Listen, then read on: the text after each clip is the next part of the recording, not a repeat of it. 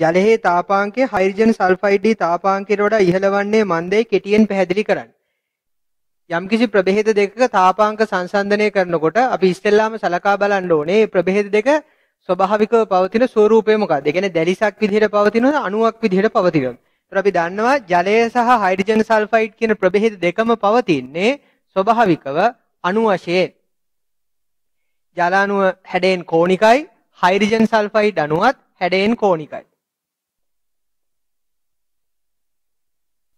අපි දන්නවා OH බන්ධනයේ ද්‍රවීය වෙනවා ඔක්සිජන් පරමාණුව දෙසට. ඒකට හේතුව හයිඩ්‍රජන් පරමාණු විද්‍යුතතාවට වඩා ඔක්සිජන් පරමාණු විද්‍යුතතාව වැඩි නිසා.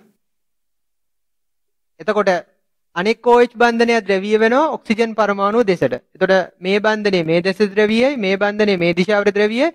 එතකොට ජල අණුව මෙන්න මේ දිශාවට ද්‍රවීය අණුවක්.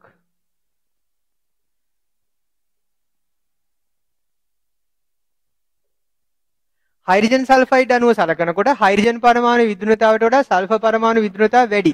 ඒ නිසා හයිඩ්‍රජන් සල්ෆර් බන්ධනයේ ද්‍රවීය වෙන්නේ සල්ෆර් පරමාණුව දෙසට. මේ හයිඩ්‍රජන් සල්ෆර් බන්ධනයත් ඒ විදිහටම ද්‍රවීය වෙනවා. එතකොට මේ බන්ධනය මේ දිශාවට ද්‍රවීයයි මේ බන්ධනය මේ දිශාවට ද්‍රවීයයි. එතකොට අණුව මේ දිශාවට ද්‍රවීයයි.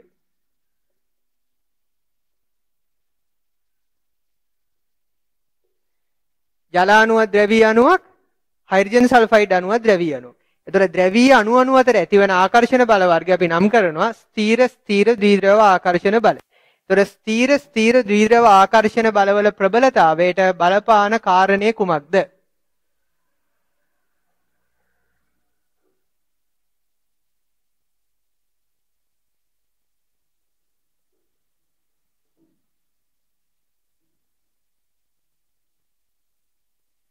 ස්ථීර ස්ථීර ද්විද්‍රව ආකර්ෂණ බලවල ප්‍රබලතාවට බලපාන්නේ අදාළ අණුවේ ද්‍රවීයතාව.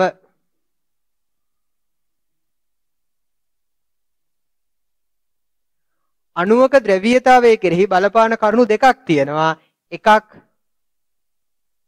බන්ධනවල ද්‍රවීයතාව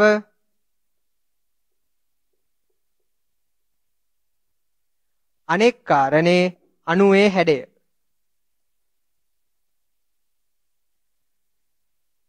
හයිඩ්‍රජන් සල්ෆයිඩ් අණුවයි ජල අණුවයි සංසන්දනය කරනකොට අණු දෙකම කෝණික. නිසා අණුවේ ද්‍රවීයතාවයට අණුවේ හැඩය බලපෑමක් නැහැ. බලපෑමක් තියෙන්නේ බන්ධනවල ද්‍රවීයතාව. බන්ධනවල ද්‍රවීයතාව කෙරෙහි බලපාන කාරණේ කුමක්ද? බන්ධනයේ සාධන පරමාණු වල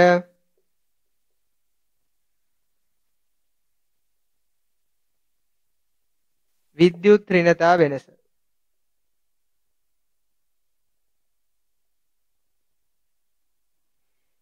එතකොට තාපාංකය තීරණය වෙන්නේ අණු අණු අතර පවතින ආකර්ෂණ බලවල ප්‍රබලතාවය මත. එතකොට අණු අණු අතර පවතින ආකර්ෂණ බලවල ප්‍රබලතාව ස්ථීර ස්ථීර ද්විද්‍රව ආකර්ෂණ බල ඇති වෙන වෙලාවට තීරණය වෙන්නේ අණු වල හැඩ සමාන වෙලාවට බන්ධනයේ සාධන පරමාණු වල විද්‍යුත්ණතා වෙනසෙන්. ඒ නිසා අපි පැහැදිලි කිරීම පටන් ගන්න ඕනේ බන්ධනයේ සාධන පරමාණු වල විද්‍යුත්ණතාවයන් සලකා බලමින්.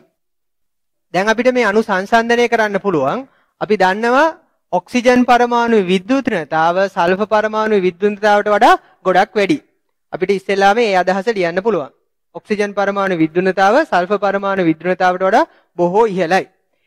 ඒ හින්දා හයිඩ්‍රජන් පරමාණුවයි ඔක්සිජන් පරමාණුව අතර විද්‍යුත්නතාව වෙනස හයිඩ්‍රජන් පරමාණුවයි සල්ෆර් පරමාණුව අතර විද්‍යුත්නතාව වෙනසට වඩා වැඩි අගයක් ගන්නවා. ඒ අදහස අපිට ඊළඟට ලියන්න පුළුවන්.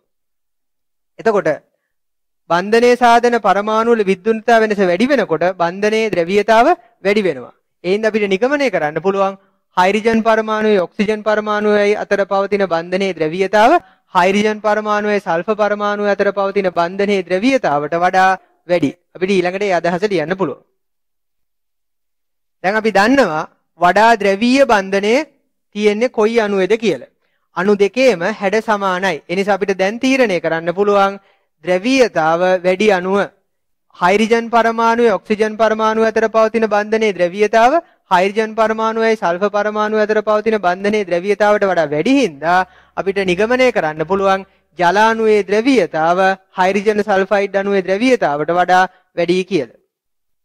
අණුවේ ද්‍රවීයතාව වැඩි වෙනකොට ඒ අණු අණු අතර ඇතිවන ස්ථීර ස්ථීර ද්විද්‍රව ආකර්ෂණ බලවල ප්‍රබලතාව වැඩි වෙනවා. එහෙනම් අපිට ඊළඟට නිගමනය කරන්න පුළුවන් ජල අණු අණු අතර ඇතිවන ආකර්ෂණ බලවල ප්‍රබලතාව H2S අණු අණු අතර ඇතිවන ආකර්ෂණ බලවල ප්‍රබලතාවට වඩා වැඩි කියලා. එතකොට ආකර්ෂණ බලවල ප්‍රබලතාව වැඩි වෙනකොට අණු එකිනෙකින් ඈත් කරලා වායු තත්ත්වයට පත් කිරීමට සැපයුතු ශක්ති ප්‍රමාණය වැඩි වෙනවා. ඒ හින්දා අපිට කියන්න පුළුවන් ජල අණු එකිනෙකින් ඈත් කර වායු තත්ත්වයට පත් කිරීමට සැපයුතු ශක්ති ප්‍රමාණය හයිඩ්‍රජන් සල්ෆයිඩ් අණු එකිනෙකින් ඈත් කර වායු තත්ත්වයට පත් කිරීමට සැපයුතු ශක්ති ප්‍රමාණයට වඩා වැඩි කියලා. එතකොට වඩා වැඩි ශක්තියක් සැපීම සඳහා ඉහළ උෂ්ණත්වයක රත් කළ යුතු වෙනවා. එහෙනම් අපිට ඊළඟට ලියන්න පුළුවන් වඩා වැඩි ශක්ති ප්‍රමාණයක් සැපීමට ඉහළ උෂ්ණත්වයකට රත් කළ යුතු වෙන නිසා ජලයේ තාපාංකය හයිඩ්‍රජන් සල්ෆයිඩ් වල තාපාංකයට වඩා වැඩි කියලා. ඒතර මෙන්න මේ විදිහට තර්කානුකූලව පැහැදිලි කිරීම ලිව්වට ලකුණු 10ක් ලැබෙනවා. අපිට ජලයේ තාපාංකය සහ හයිඩ්‍රජන් සල්ෆයිඩ් වල තාපාංකය සලකා බලන්න පුළුවන්. ජලයේ තාපාංකය සෙල්සියස් අංශයක 100ක් වෙනවා සම්මත පීඩනයේදී හයිඩ්‍රජන් සල්ෆයිඩ් වල තාපාංකය සෙල්සියස් එක ඍණ 60ක් වෙනවා සම්මත පීඩනයේදී. එතකොට ඒ දත්ත අනුව අපිට අපේ පැහැදිලි කිරීම සත්‍ය බව තහවුරු වෙනවා. අවසාන වශයෙන් වැදගත් කාරණයක් තියෙනවා කියන්නේ මේ වගේ පැහැදිලි කිරීමක් ලියනකොට ඒ පැහැදිලි කිරීමට අදාළ පියවරවල් තර්කානුකූලව පියවරෙන් පියවර ලියලා තියෙන්න ඕනේ. එතකොට තමයි අපි ඒකට පැහැදිලි කිරීමක් කියලා කියන්නේ.